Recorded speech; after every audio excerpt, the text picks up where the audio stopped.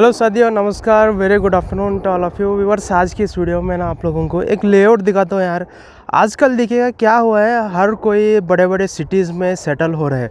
But आज के जो आ, हमारे जो 40 40 ईयर्स के जो आ, एक यंग दो बच्चे वाले जो पेरेंट्स रहते हैं उन खुद चाहते हैं कि बड़े सिटीज़ से मेट्रो सिटीज़ से भी अच्छा ना यार जो डिस्ट्रिक्ट लेवल के सिटीज़ रहते देखो वहाँ पर सेटल हो रहे हैं। तो वहाँ पे भी क्या है ज़्यादा क्राउडेड हो चुका है डे बाई डे बहुत सारा मात्रा में लोग उधर बस रहे हैं। तो अब क्या हो रहा है जो मेन रोड रहते देखिए हाईवे हाईवे रोड के जो आसपास एरिया रहता है, वहाँ पर अब एकोमलेट हो रहा है, वहाँ पर लेआउट पर है। तो उसी तरह से यहाँ पर एक लेआउट हुआ है जो बीदर से बिलोंग करता है, सिर्फ़ और सिर्फ़ सात किलोमीटर दूरी पर यानी कि जो मरकल गाँव है। बोलने के लिए गाँव है बट जब आप ये हाईवे एरिया देखेंगे ना तो परेशान हो जाएँगे दोस्तों। ये लगभग सौ फीट वाला, मोटाई वाला जो हाईवे रोड जाता है मेरे पीछे की तरफ़, वहाँ पर जो है ना एक लेआउट हुआ है। और अभी फ़िलहाल अभी रोड का रोड बनने वाला है, नाले का काम हो चुका है। यहाँ पर लगभग करीब एक दो से अढ़ाई एकड़ में बसा हुआ एक अच्छा लेआउट है। सो मैं अभी उसका वाकथ्रो दिखाता हूँ। और फ्यूचर में मैं जो है इसका प्राइस डिटेल्स भी बताऊँगा। जब अभी डिसाइड नहीं हो हो चुका है इस प्राइस डिटेल्स पूरा फुल फिनिशिंग होने के बाद इसका क्या रेट चल रहा है, मैं दोबारा और एक वीडियो दिखाऊँगा। बट फ़िलहाल जो मेरे पीछे जो सब देख रहे देखिएगा, जो बाईपास रोड हो या बाईपास रोड नहीं, ये मेन रोड है ओके यहाँ से बीदर बीदर जो अंबेडकर सर्कल है, वहाँ से ना सिर्फ़ और सिर्फ़ सात से आठ किलोमीटर दूरी पे है। और आपको पहुँचने के लिए सिर्फ़ सात से आठ मिनट का रास्ता ही है। सिर्फ़ दस मिनट के अंदर यहाँ तक आप पहुँच सकते हैं टू व्हीलर पे। कार रहा तो और उससे भी ज़्यादा स्पीड पर तक जा सकते बिकॉज़ रोड उतना मस्त है। चलिए दिखाऊँगा आपको लेआउट लेट्स सी दोस्तों लेआउट का खासियत कैसा है? फ़र्स्ट क्या किया वो आता है आपका मेन हाईवे रोड ओके ये सीधा जो बस देख रहे देखिएगा। वहाँ से main highway road continuous 24 four hour transportation facility है स्पेशली हर कोई इधर एक बस स्टॉप है मेन बस स्टॉप यही है और बस स्टैंड भी है इस गाँव का, मरकल। यहाँ से आठ किलोमीटर, दस किलोमीटर दूरी पे जो है, बिदर शहर आ जाएगा अंबेडकर सर्कल वो लारी दे, जा रहा, देखिए, वहाँ से जो है ना मेन एंट्रेंस दिया गया है।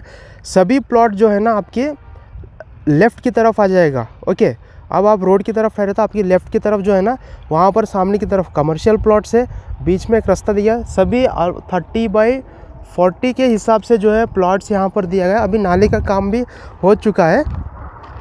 ये हम फ़िलहाल आए पूरा एंड की तरफ़ ओके ये ऐसा सीधा जाएगा।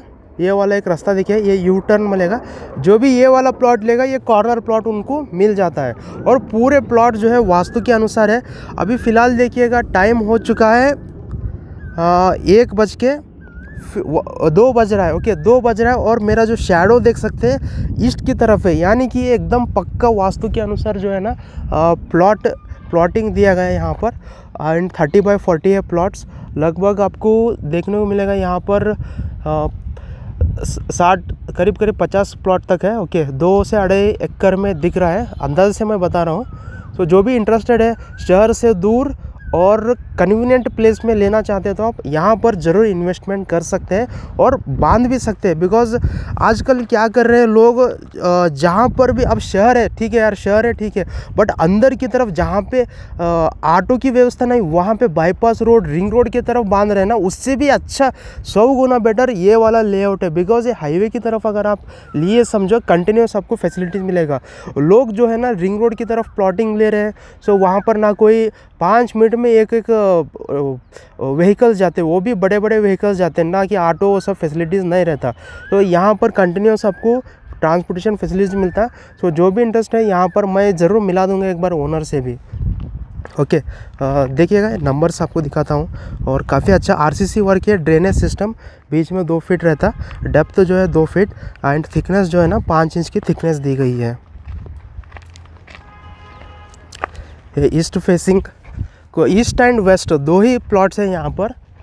कॉर्नर जो आता, साउथ ईस्ट या फिर साउथ वेस्ट, दो प्लॉट्स आ जाएँगे कॉर्नर की तरफ़ आपको।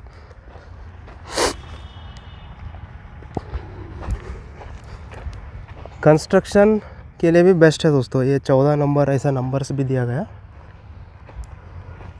Thirty by forty size, and ऐसा कौन सा भी कोना वाला नहीं है क्रॉस या फिर कैंची वाला प्लॉट्स नहीं है, सभी करेक्ट यहाँ पर बनाया गया।